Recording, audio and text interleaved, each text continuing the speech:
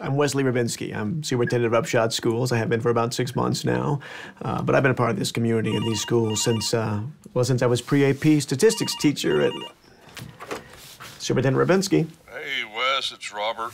Oh, Sheriff, hello. Hey, uh, you know, the elementary bake sale's coming up. We're all looking forward to your wife's uh, banana bread here. Yeah, that's great, Wes. I'm calling to inform you.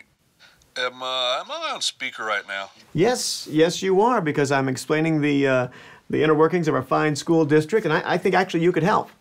I'd rather not. Oh, come on, Bob, you can't be camera shy. You're, you're not even on camera. All right. Principal Simms is being indicted. All the details aren't clear at the moment, but Excuse me?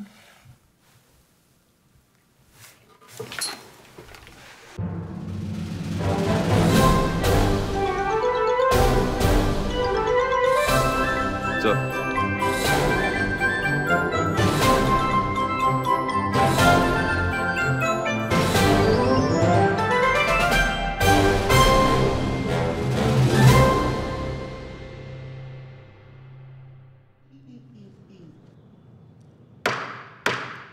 The last item on our agenda is to quickly address the situation of our former high school principal, Wade Simms. who is no longer employed by us.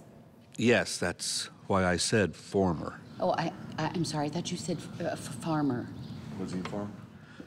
Test tampering, bribing students, betting on school football games, and, uh, and he was growing marijuana in our ag class greenhouse. I guess he was a farmer. Anyway, our selection team is meeting and we're going to review the nominees and we hope to choose a new principal soon.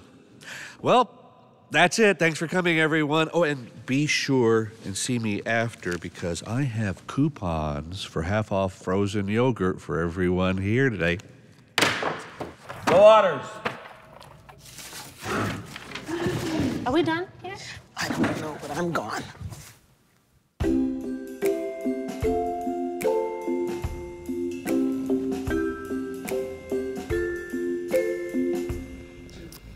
Looks like it's just you and me on time again, Ethel. Brother Bird getting the worm or what? Hey. Well, this should go quickly. I think we all know who we should pick, right? Yep. I think I know exactly what you mean. I mean, the obvious choice is Mr. Carter. Wayne? Bomb. Ah, I guess we should review. So, tell us about yourself. My name is Miss Everbaum. I believe you all know me. Vice Principal Carter. Uh, Mr. Wayne. Yes, John Wayne. I'm in charge of discipline. I teach music. I've been principal at 18 different schools in the last six years. Do you have any special skills? I'm very good at putting the students in rows. I'm good on horseback.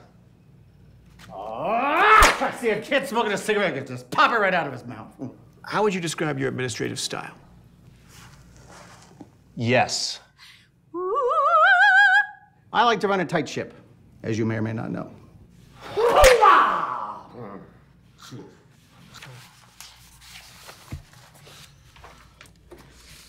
Well, Assistant Principal Carter has a lot of potential. Oh, I agree with that. Yeah, he's a familiar face and he's very dedicated. Plus, he's got broad shoulders. That's a good sign. He's got my vote.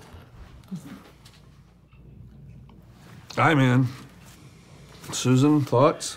Well, have you seen Mr. Wayne's hair? Hair. What? It's it's very, very presidential.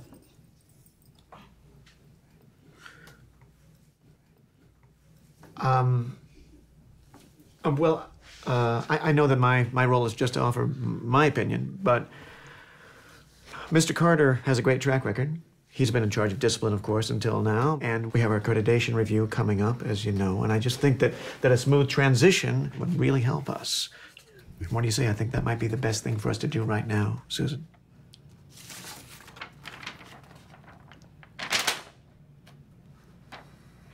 Okay, man. hello.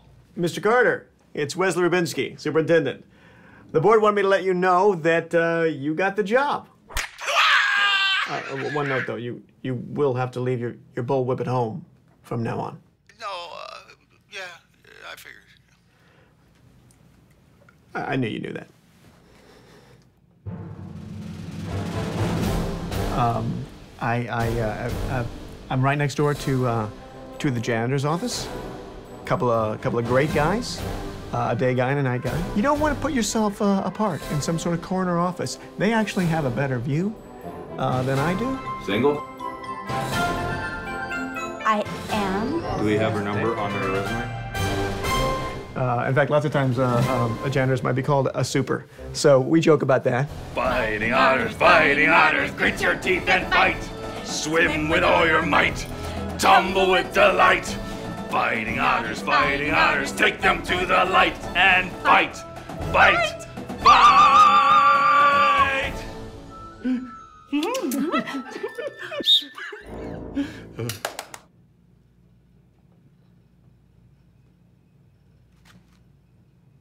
Thank you so much.